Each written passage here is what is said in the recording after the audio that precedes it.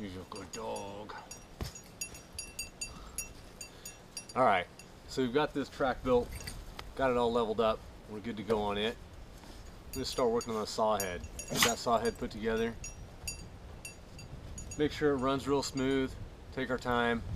Check all the nuts and bolts. Keep the dogs out of our way. Hang out for a minute. Get this going. You are dusty. Get out of here.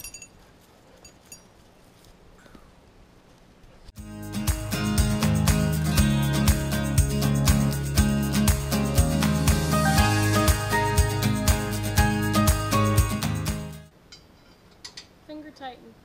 Finger tight. Yep. When are we uh, ever going to tighten any more bolts?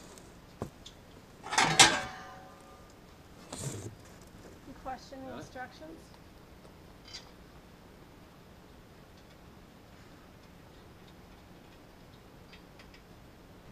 Yeah. So, yeah. Please don't faster. Out that way, or this way? This way up. Yep, yep, and make sure it bottoms out. You can see there's a spot where you, where you can see that it has done so.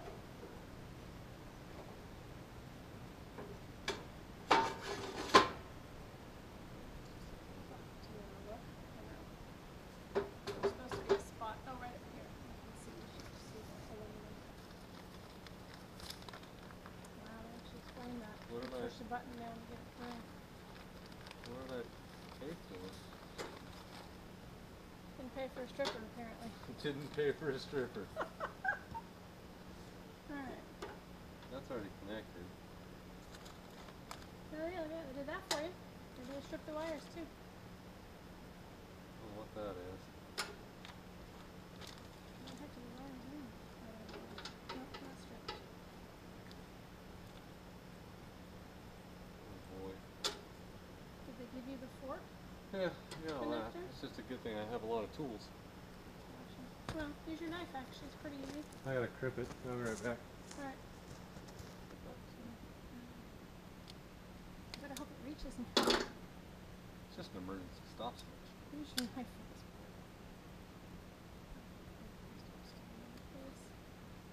part. Aim right at me. I swear, officer, it was an accident. Just keep aiming it right at me. Go ahead. You stand out of reach of your arm. It's very strange to watch it constantly pointed at me.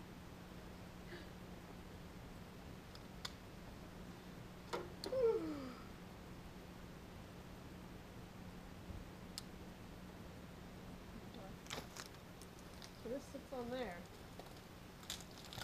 Um, with the Shaft out. shaft facing the fu- yeah, that one. That's right. Shaft out. Yeah, see that one? What's the first thing that goes on? The black Allen wrench tightening guy. that Allen you wrench just did on tightening the- guy. The thing that you just did on the wheels. This thing? No. This thing. Allen wrench tightening guy. Oh, that's the first thing that goes on the crankshaft? I'm looking at the picture. Looks like it, doesn't it? Oh, interesting. I figured that would go on the outside to hold this on.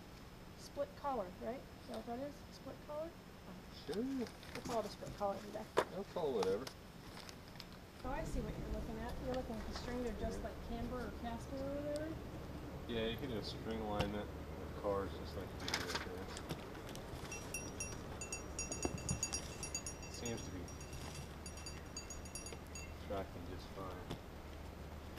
See the see the oh, teeth on what, both that's what sides. messes it up right there. Yeah, one gets off. You want your, your wheels to be dead straight to each other. Parallel. Yeah, parallel. So let me get you a little close up of the finished product, give you a little walk around, show you a little bit closer to the log loading system, maybe explain it a little bit more. With a 4 foot extension that I bought to make it 4 feet longer than standard, they say it'll do a 17 foot beam, I believe. And the log loader with a winch, all that is a separate option.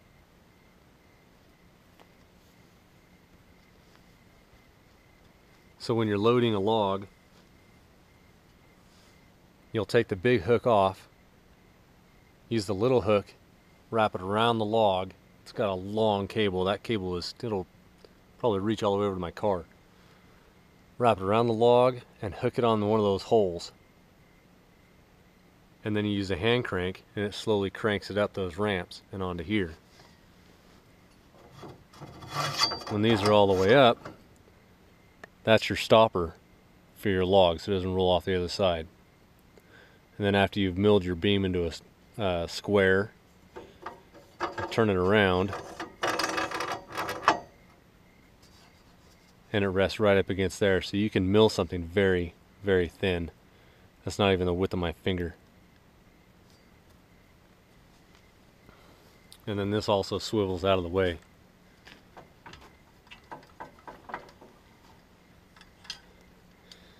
It's also at its furthest point out. That little keeper right there. There's another hole over there. So when you're loading a log or flipping a log, you'll take that keeper out and you'll push this whole assembly in until that hole lines up with that one. You'll put the pin in, it moves the whole thing in. But you don't have to take it all the way out. You have clearance with it swung out of the way like that. You have clearance to leave that there and still run your mill right past it. You do have to take the feet off or the legs. Fairly easy to build.